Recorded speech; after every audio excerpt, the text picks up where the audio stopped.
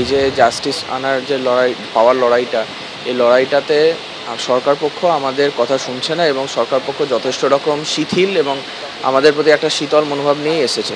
না আমাদের তারা কথা শুনছে, না আমাদের সাথে আলোচনা বসতে চাইছে যাও বা বসছে তাতে বসলেও হচ্ছে সময় নষ্ট করা এবং হচ্ছে তাদের মানে তাদের অনর থাকা। এবং সবথেকে বড় কথা এই যে সুপ্রিম কোর্টে যে কথাগুলো বলা হচ্ছে যে নব্বই শতাংশ কাজ হয়ে গিয়েছে হয়ে গিয়েছে হয়ে গিয়েছে, এগুলো সম্পূর্ণরূপে মিথ্যা, সেগুলো আমাদের জেলার হাসপাতালগুলি দেখলেই বোঝা যায়। যাই হোক, তর্কে যাই, যেতে চাই না।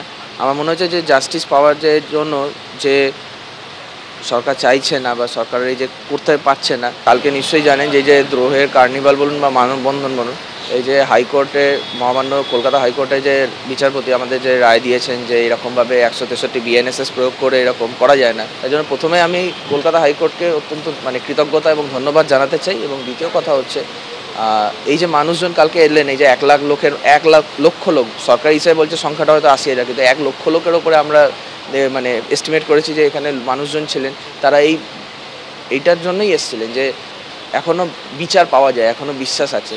এই যে এই খবরটা এই যে এই মুহূর্তে দেখলেন যে এক লক্ষ লোক এসে এখানে সবার চোখে জল চলে এসেছে। আর সবাই যা যাও বা মানসিকভাবে এ ছেলে বা শারীরিকভাবে ছেলে প্রত্যেকে এতটাই চাঙ্গ হয়ে গেছে বলছে যে আমরা দশ দিন কেন? আমরা ছাব্বিশ দিন অবধি বসতে রাজি আছি। অর্ণবদাই নিজে বলছে। আর কতদিন? এই প্রশ্নটা তো আসছে। দেখুন এই প্রশ্নের উত্তর বলতে গেলে আমাকে তাহলে হচ্ছে সরকারকে সেই ঘুরিয়েই জিজ্ঞাসা করতে হয়। আমাদের তরফ থেকে তো আমরা সব হাত বাড়িয়েই রেখেছি। ওনারা যদি হাত না বাড়ান আমরা কি করব বলুন?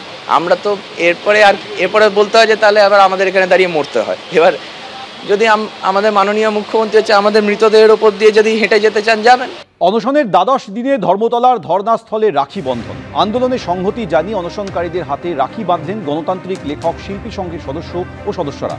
বঙ্গভঙ্গের প্রতিবাদে উনিশশো পাঁচ সালের ষোলোই অক্টোবর রাখি বন্ধন উৎসব পালন করেছিলেন রবীন্দ্রনাথ ঠাকুর। তাই দুর্নীতিমুক্ত স্বাস্থ্য ব্যবস্থার দাবিতে অনশনকারী জুনিয়র ডাক্তারদের হাতে রাখি পরানোর জন্য এই দিনটিকেই বেছে নেওয়া হয়েছে বলে জানিয়েছে গণতান্ত্রিক লেখক শিল্পী সংঘ। এদিন ধর্নামঞ্চে যান শিক্ষাবিদ পবিত্র সরকার। আন্দোলনকারীদের দশ দফা দাবি সঙ্গত বলে তিনি মন্তব্য করেন। আমি তো আসছি মাঝে মধ্যে, কিন্তু আজকে একটা বিশেষ উপলক্ষে উনিশশো পাঁচ সালে যে বঙ্গভঙ্গ আন্দোলন হয়েছিল তার বিরুদ্ধে যে আন্দোলন, তাতে রবীন্দ্রনাথ রাখি বন্ধনের ব্যাপার করেছিলেন। আমরা জানি যে রাখি বন্ধন করে আমরা ওদের কোনো সাহায্য করতে পারব না, ওদের সমস্যার সমাধান করতে পারব না, ওদের সুস্থতাও এনে দিতে পারব না।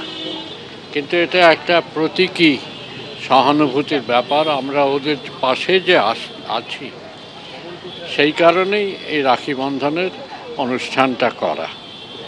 আমরা ওদের পাশে আছি, আমরা ওদের পাশে থাকব যতদিন পর্যন্ত সুবিচার না হয়, তিলোত্তমা এবং সমস্ত রকমের যে অপকর্ম যা ঘটে, স্বাস্থ্য ব্যবস্থার স্বাস্থ্য যাতে ফিরিয়ে আনা যায়, ওদের যে আন্দোলন চলছে, তার জন্য আমরা ওদের পাশে থাকব। এটা তারই একটা প্রতীকী ব্যাপার।